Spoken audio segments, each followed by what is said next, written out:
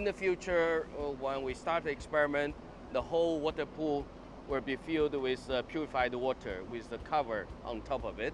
A ball like this is the most, uh, let's say, efficient way to build the structure. Just like egg, very thin uh, shear is a very strong force, can sustain a lot of pressure.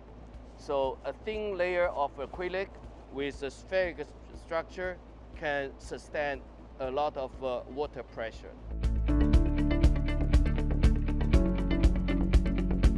You see the yellowish cover, photons comes in, hit this yellow kind of material, they will convert uh, photons to electrons. Every single photon can generate a pulse with uh, 10 million electrons, and then the signals will be taken out by cables to electronics, and we, we store them in the computer to do analysis.